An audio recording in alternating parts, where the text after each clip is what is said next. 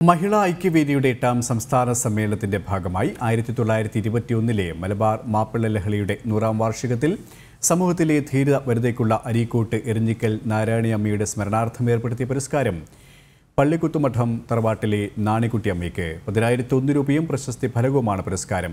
ഈ മാസം ഇരുപത്തിയഞ്ചിന് തുവൂരിൽ നടക്കുന്ന പരിപാടിയിൽ മുൻ മിസോറാം ഗവർണർ കുമ്മനം രാജശേഖരൻ പുരസ്കാരം സമർപ്പിക്കും. ഹിന്ദു ഐക്യവേദി സംസ്ഥാന വർക്കിംഗ് പ്രസിഡന്റ് വത്സൻ തെല്ലിങ്കേരി മുഖ്യ പ്രഭാഷണം നടത്തും.